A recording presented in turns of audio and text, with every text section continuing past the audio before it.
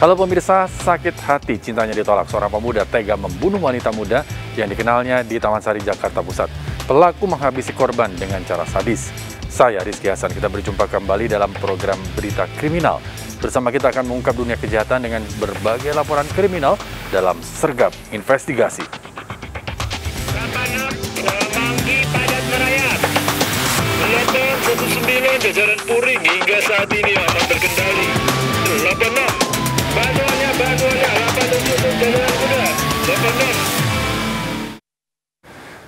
Pemirsa sebuah rumah di permukiman padat di Barito, Kuala, Kalimantan Selatan terbakar. Jalan yang rusak menjadi kendala petugas pemadam menjangkau titik api.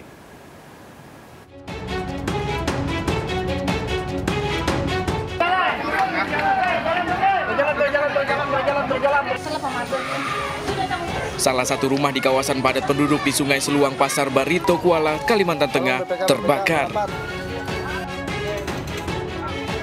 Besarnya kobaran api membuat warga sekitar panik. Warga berupaya menyelamatkan harta benda yang bisa diselamatkan. Korsleting listrik di dapur diduga menjadi penyebab dari kejadian ini. Sempat terjadi ledakan dari tabung gas di dapur di rumah tersebut. Petugas yang datang segera melakukan upaya pemadaman. Jalan yang rusak menjadi kendala petugas dalam menjangkau titik api. Kalau kendala air eh, tidak ada, cuma jalan akses jalan ke tempat TKM ini cukup lumayan parah. Banyak jalan rusak dan jembatan yang yang rusak juga. Untuk untuk informasi yang kami dapat dari warga, eh, informasi awal eh, dan perkiraan ini konsleting listrik.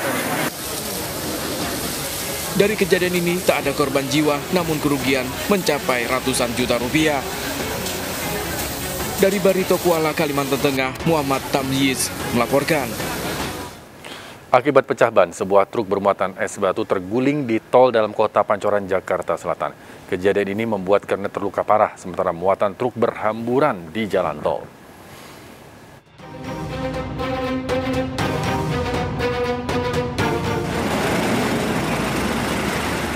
Mobil truk bermuatan es terguling di jalan tol dalam kota Pancoran, Jakarta Selatan. Insiden bermula saat melaju dari arah Pancoran menuju ke Cawang. Saat berada di lokasi kejadian, truk mengalami pecah ban hingga membuat pengemudi tak bisa menguasai laju kendaraannya dan terguling. Petugas kepolisian dibantu petugas jasa marga yang tiba di lokasi langsung berupaya mengevakuasi muatan es batu yang berserakan agar tak mengganggu arus lalu lintas.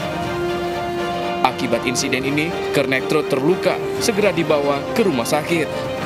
Iya, jadi saya kan panik, jadi ngerem gitu, terus gitu langsung miring. Tadi berapa orang pak? Ya, Di dalam mobil berapa orang? dua. Berdua. Iya. Itu yang yang luka keneknya. Ya, Usai kejadian arus lalu lintas di tol dalam kota menuju ke Cawang mengalami kemacetan panjang. Dari Jakarta, Rio Manik melaporkan. Diduga panik akibat menyenggol motor, sebuah minibus di kota Bengkulu berupaya kabur. Pengemudi menghantam dua mobil lain dan nyaris menabrak antrian warga yang tengah membeli minyak goreng. Akibat kejadian ini, satu orang mengalami luka parah dilarikan ke rumah sakit.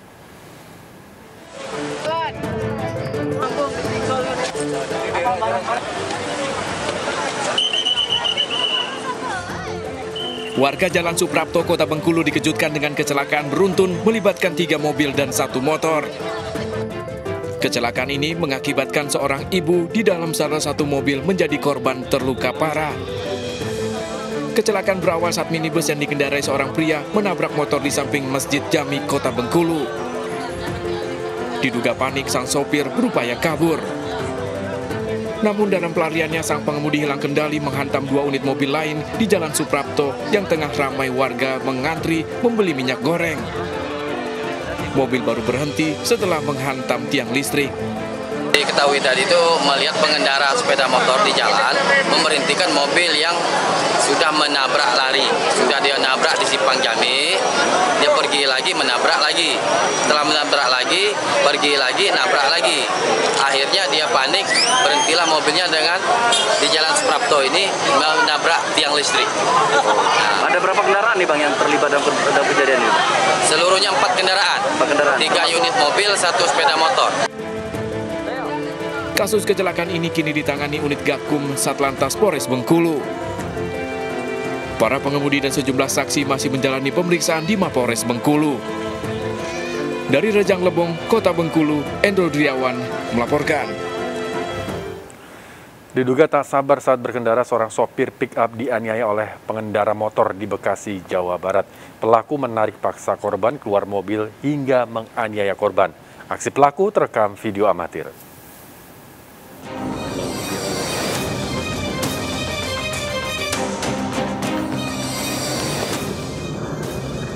Video amatir merekam seorang supir pickup dianiaya oleh pengendara motor di Jalan Raya Serang Cibarusah, Bekasi, Jawa Barat. Peristiwa terjadi saat korban tengah mengangkut bahan material melintas di lokasi saat kondisi macet. Tiba-tiba pelaku menghampiri korban, menarik paksa keluar dari mobil dan menganiayanya di tengah jalan. Usai video viral, pelaku ditangkap di kediamannya di Bekasi, Jawa Barat.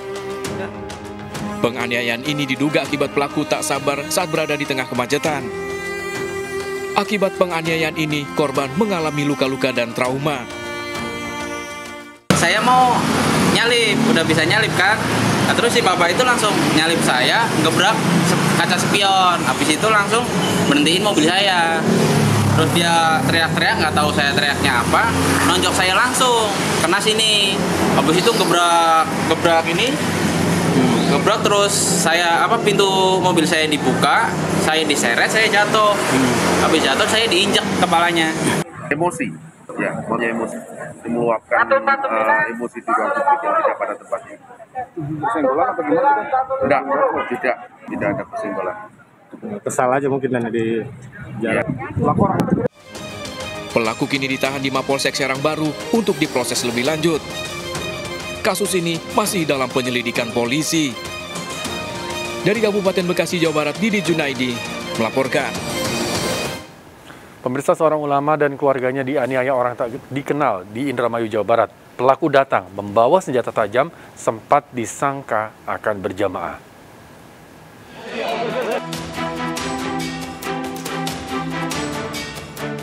Warga dan jemaah Pondok Pesantren An-Nur, Tegal, Mulia, Indramayu menangkap seorang pria bersenjata tajam karena melakukan penganiayaan. Pelaku tiba-tiba masuk ke musola dan menganiaya Kiai Farid yang sedang memimpin doa. Warga mengaku tak ada yang mengenali pelaku. Ternyata pelaku sebelum ke musola telah mendatangi ke rumah pengasuh pondok pesantren. sehingga istrinya lah yang menjadi sasaran tersangka dan keponakannya. Setelah dari rumah Pak Kiai, karena Pak Kiai tidak ada, maka tersangka mencari Pak Kiai yang biasanya malam Rabu ini wirid di musola Indo. Maka eh, tersangka langsung masuk, kirain para jamaah itu ikut wirid. Ternyata pembantaian di pengimaman ini. Dengan menggunakan dengan menggunakan arit Tiga korban masih menjalani perawatan di rumah sakit sementara pelaku telah diamankan di kantor polisi. Dari Indramayu, Jawa Barat, Toy Skandar melaporkan. Pemirsa dua pencuri diceramahi dan diamuk warga di Bekasi, Jawa Barat setelah kepergok pemilik rumah. Pelaku sempat berdalih sedang menagih hutang.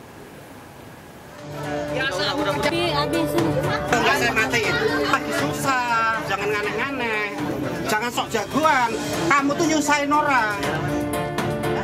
Dua pelaku pencurian ini dinasehati Kepala Lingkungan Warga Sukatani Cikarang Utara Bekasi setelah diamankan dari rumah salah satu warga karena kepergok mencuri handphone. Namun keduanya tetap tidak mengakui mengambil handphone dan warga yang menggeledah pun tak menemukan barang bukti.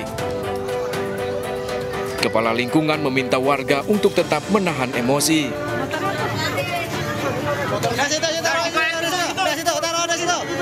Kemarahan warga akhirnya diluapkan setelah kedua pelaku pencurian ini mengaku handphone yang dicurinya telah dibuang. Menurut korban, pelaku dipergoki sudah berada di dalam rumah saat suaminya berangkat bekerja. Pak, uh, posisi maling itu udah di dalam rumah saya. Saya saya saya tanya, ada apa Pak? Saya menagih utang Pak, kata orang itu. Nama laki saya siapa gitu. Dia jawab apa tadi saya lupa namanya. Dan terus sudah gitu, nah itu bukan nama laki saya, tapi feeling saya HP saya hilang pak. Uh, saya nahan motor, dia nyuruh saya masuk, tapi saya teriak maling pak. Hmm. Ya, terus uh, warga datang? Warga belum datang kan uh, malingnya ketangkapnya di belakang. Menurut warga, kejadian pencurian seperti ini sudah berulang kali terjadi. Pelaku beraksi di pagi hari saat pemilik rumah pergi bekerja. Ya sering sih, sering waktu kemarin udah tiga hari yang lalu warga saya, warga RT 04 RW 9. Ini yang diambil sama pelakunya apa aja? Dah? HP, HP, dua, dua modus ini HP yang diambil. Dua pelaku pencurian ini diserahkan warga ke polisi dengan barang bukti kunci letter T serta tiga plat nomor motor palsu. Dari Bekasi, Jawa Barat, Didi Junaidi dan Ahmad Jauhari Lutfi melaporkan.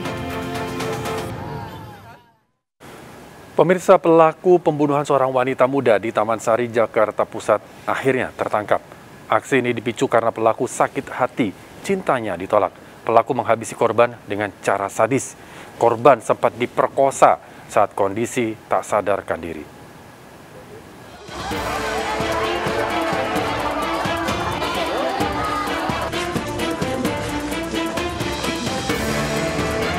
Polisi menangkap MA, pelaku pembunuhan Ayu Wulandari 21 tahun pada sebuah kamar kos di Jalan Mangga Besar 13 Sawah Besar, Jakarta Pusat. Pelaku menghabisi dan memperkosa korban di lantai dua kamar kosnya. Sebelum beraksi, pelaku selalu mengantar jemput korban di tempat kerjanya dan beberapa kali mengungkapkan isi hatinya. Namun karena cintanya ditolak, pelaku bertindak nekat. Pelaku tertangkap tak jauh dari lokasi kejadian. Tempat kejadian adalah kamar kos milik saudari AW di lantai 2. Modus operandi yang dilakukan adalah tersangka sakit hati seperti yang disampaikan oleh Kapolsek kemarin bahwa tersangka sakit hati karena cintanya ditolak. Usai peristiwa tersebut, pelaku yang seorang pengangguran meminta maaf. Untuk keluarga korban saya ingin minta maaf yang sebesar-besarnya. Saya juga spontan ngelakuin ini Akibat perbuatannya, pelaku terancam 15 tahun penjara. Dari Jakarta, Esra Ambarita Gilang Ramadan melaporkan. Pemirsa sekelompok orang menyerang petugas dengan kembang api saat dilakukan penggerbekan kampung narkoba di kawasan Tanjung Priok, Jakarta Utara. Dari lokasi kejadian di Kampung Bahari, petugas menemukan berbagai jenis narkoba, senjata tajam, hingga uang tunai 35 juta rupiah.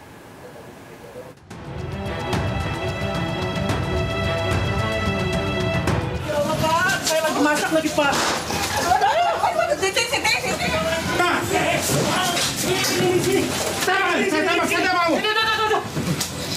Polisi dari Satuan Narkoba Polres Metro Jakarta Utara harus berlari saat menggerebek sebuah kampung narkoba di kawasan Kampung Bahari, Tanjung Priok, Jakarta Utara. Beberapa sempat bersembunyi sebelum akhirnya tertangkap dengan barang bukti narkoba. Polisi harus melepas beberapa kali tembakan peringatan setelah sejumlah orang menyerang balik menggunakan petasan. Sebelumnya petugas kepolisian menggeledah sejumlah rumah yang disinyalir menyembunyikan narkoba. Untuk memantau kedatangan polisi, tiap sudut di kampung Bahari ini terpasang CCTV. Juga ada kode yang mereka gunakan di antara mereka yaitu petasan. Ada bunyi petasan ya yang mereka nyalakan apabila ada mereka melihat gangguan dari petugas khususnya, maka ini akan dinyalakan, kemudian maka mereka akan tiarap istilahnya seperti itu.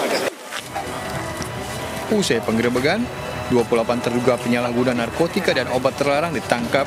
Ribuan butir pil ekstasi, ratusan gram sabu, senjata tajam dan uang tunai 35 juta rupiah disita. Dari Jakarta, Vendra Kurniawan melaporkan. Dipicu sakit hati karena kerap dihina, seorang kakak di Surabaya tega membunuh adiknya sendiri. Pelaku ditangkap dalam pelariannya. Lalu bagaimana kasus ini terjadi? Ikuti informasi selengkapnya sesaat lagi tetaplah di Sergap Investigasi. Banyuwannya manualnya 87